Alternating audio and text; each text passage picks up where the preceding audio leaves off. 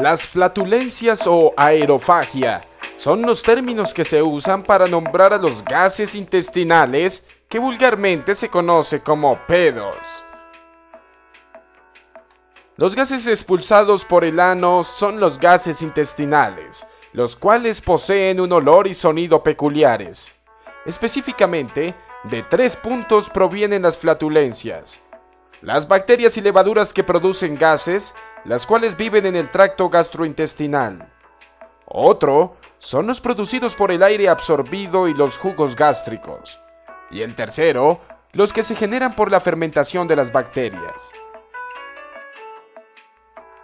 El proyecto CH4, promovido por Rodrigo Narciso, que desarrolló la idea para su tesis de graduación en la Universidad de Nueva York, propuso la creación de un dispositivo elaborado en impresión 3D que incorpora un sensor de gases para llevarlo en el bolsillo trasero o en el cinturón.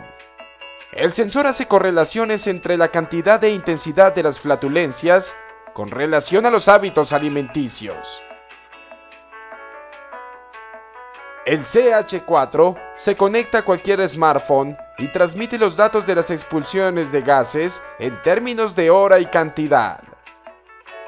El objetivo de Narciso era fundamentalmente que se pudiera llevar un control y un análisis de qué comidas producen mayor cantidad de gases intestinales, de manera que realizando estadísticas con los datos obtenidos por el CH4 y las comidas que se habían consumido, se podrían saber qué alimentos afectan en mayor y menor medida a la aerofagia.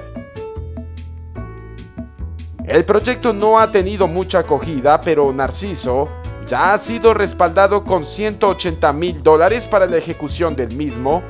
Estos dineros fueron recibidos de la mano de 73 personas que estaban dispuestas a financiar el ambicioso proyecto, aunque solo 27 se interesaron en obtener uno de estos aparatos en un considerable precio de 120 dólares.